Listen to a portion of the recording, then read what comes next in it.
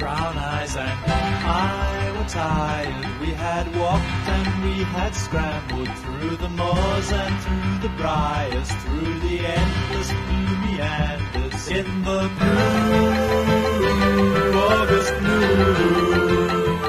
In the cool August blue. Over the through the we went surging down the wires, through the towns and on the highways, through the storms in all their thundering. The